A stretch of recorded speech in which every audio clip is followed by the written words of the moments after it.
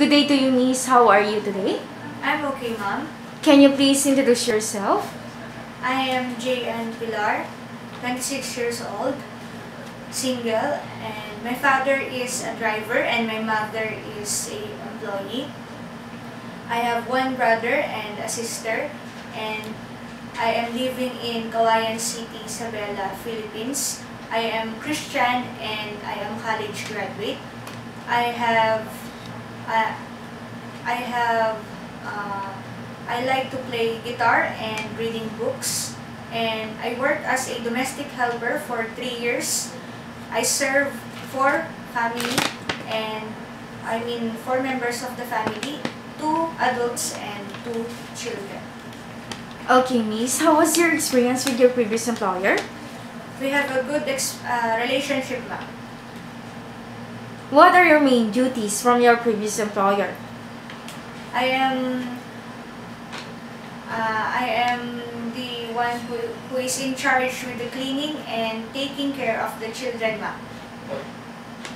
What appliances you can operate? Ah, come again, ma'am. What appliances you can operate? All appliances in the kitchen, ma'am. What parts of your employer's house do you clean most? Mostly kitchen and comfort room, ma'am. Can you manage to take care of newborn baby? Yes, ma'am, and I am also willing to learn more about taking care of babies, ma'am. What are the most important things in taking care of children or baby? Uh, the important things is to take care of their health, welfare, and security, ma'am. Okay. Can you offer tutorial for the kids? Yes, ma'am. Like, Like reading and counting, ma'am. what would you do to provide a good service to your future employer?